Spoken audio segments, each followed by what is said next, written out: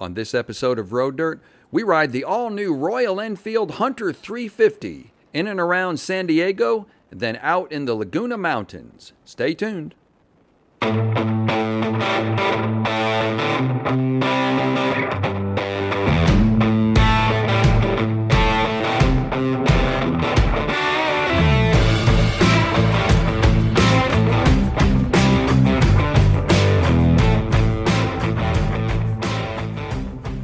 Hey, this is Rob with Road Dirt, and we are in not so sunny San Diego and not so warm. It's like 58 degrees here right now.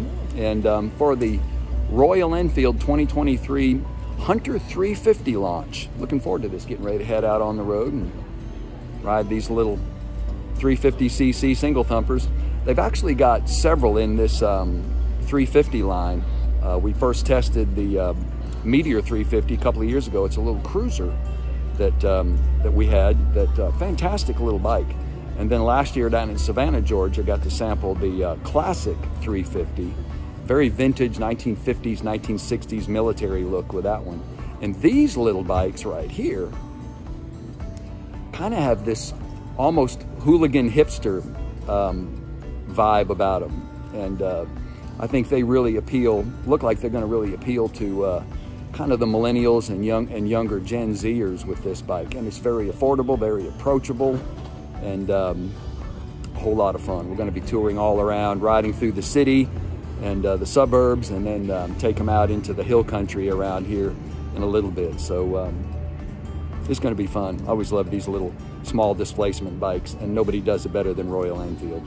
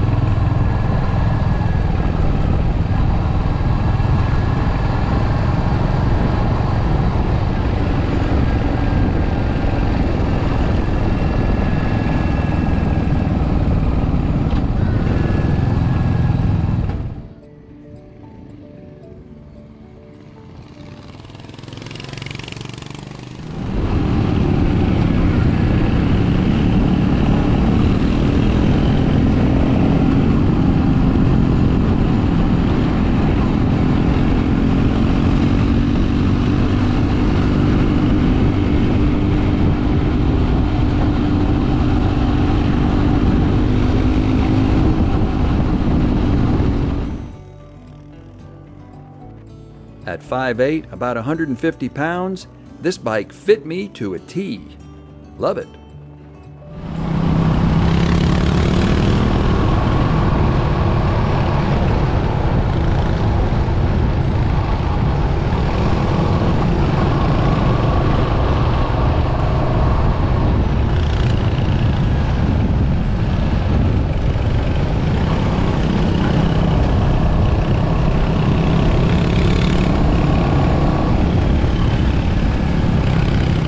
Well, I'm with Mark Wells from the um, Royal Enfield. Uh, you guys, you're part of the uh, R&D establishment over in England, right? That's where I'm based. Yeah, that's where I'm located out of. So the, the UK Tech Centre in uh, Leicestershire. Um, Yeah. So we've got a facility there with about 170 engineers now, engineers, industrial designers, and then all of the sort of supporting staff around that.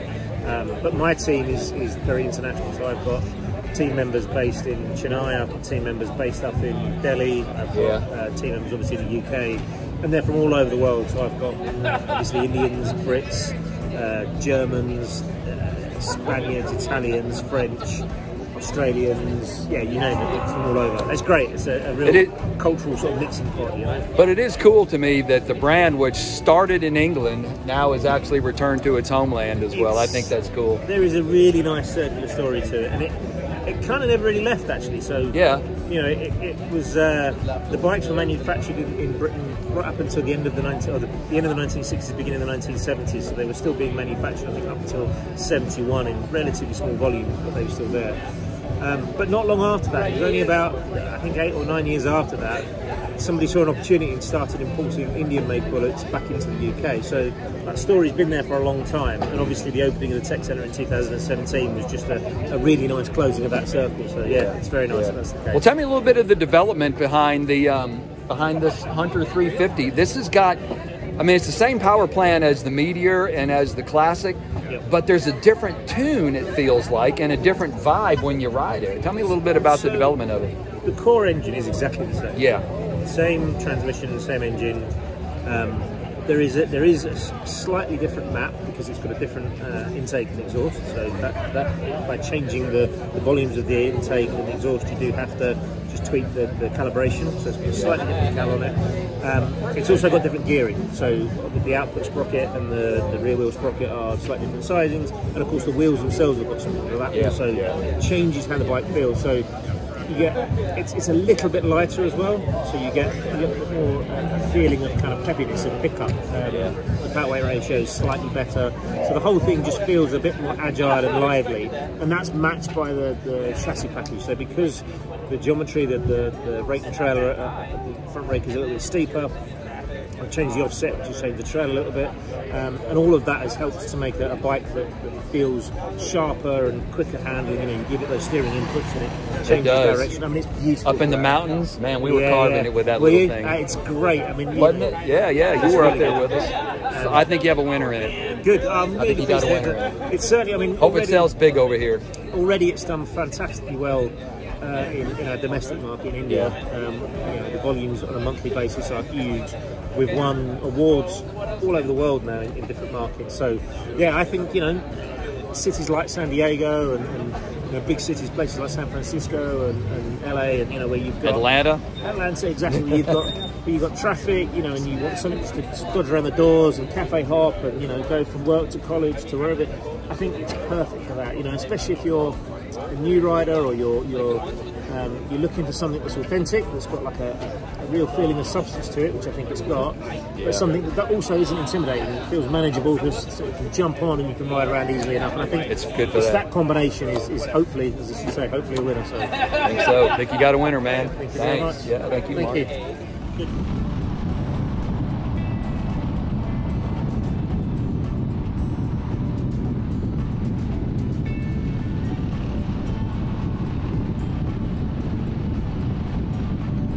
San Diego and the surrounding countryside is such a beautiful place.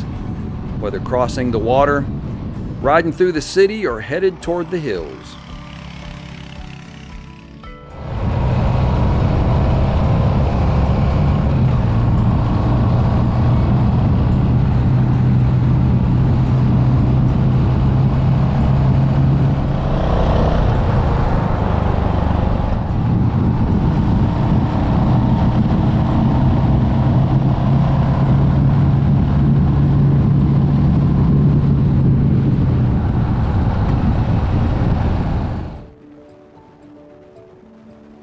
The Hunter 350 is so easy to ride, light, flickable, but with plenty of power and great brakes.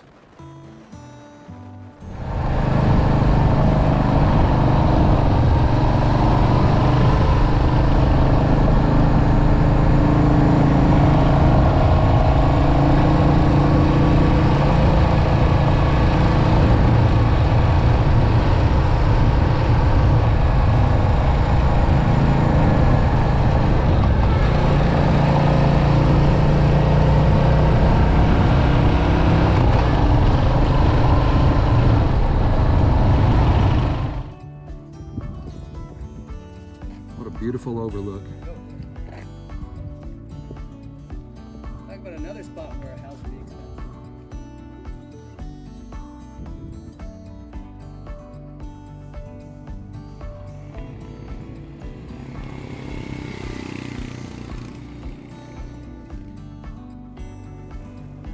Aside from the proven 350cc J Series engine, this is an entirely reimagined Royal Enfield geared, well, literally and figuratively, and aimed squarely at the age 35 and younger riders and potential riders.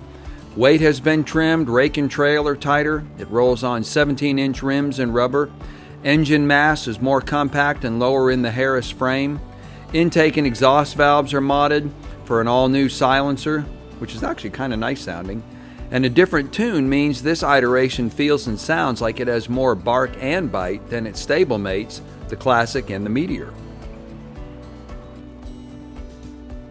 Well, so here we are at the end of a day riding the Royal Enfield Hunter 350 um, all over, in, out, in and out of traffic and around the city here in uh, San Diego, out in the suburbs, among the rolling hills and uh, neighborhoods and subdivisions up and down the hills, along the shoreline, along the Pacific Ocean. That was beautiful, just gorgeous, unbelievable. And then we took them up into the hill country, up into the mountains, and rode the twisties and um, got on a lot of just great curvy, tight roads up in the hill country. And uh, man, just had a great time. The bike is phenomenal um, around town because it's so light easily maneuverable, flickable. And then you get up in the mountains and man, it, you know, it doesn't act like a little 350 single thumper. I mean, the bike really handles curves great. It just carves and digs deep. And then we had to do some interstate out that way and then back. And uh, man, at one point they uh, tried to merge out into traffic and just got on um, I-5. And uh, I pinned the throttle and the thing took a deep breath and then started chugging its way up to 82 miles an hour for a 350 single number. That ain't bad. So, um, man, I tell you what, um, I always loved the Royal Enfield bikes. I am, I've enjoyed every one we've ever gotten to sample, either in press launches or for long termers. I got to admit something though. That would look good in my garage next to my personal uh, Triumph Bonneville, the, the little brother and I think this Hunter 350 just might be my favorite uh, Royal Enfield. It's that good. And they're real, real, super affordable, real approachable, and uh, a whole heck of a lot of fun. So um, check them out, royalenfield.com. And thanks for check, uh, checking out this video. If you liked what you saw, just um, hit the subscribe button and um, ring the bell and uh, so you get notifications about future um, content we'll put out. Also, check us out on social media. We're on Facebook, Twitter, and Instagram. So, uh, Road Dirt TV. And our main motorcycle media site is called roaddirt.tv. That's our e magazine. Check us out over there. We got a Spotify music playlist. I think it's like 25 hours worth just of music for the road 60s, 70s, 80s, some 90s. We're a bunch of old farts. We love the old classics. And um, check out our podcast. So uh, that is at Road Dirt on Apple, Spotify, any of them. You can get to those. There goes one right there. I'm about ready to take off and go do a little joyride myself, just one more time on it. So this is Rob with uh, Road Dirt. Until next time, ride life.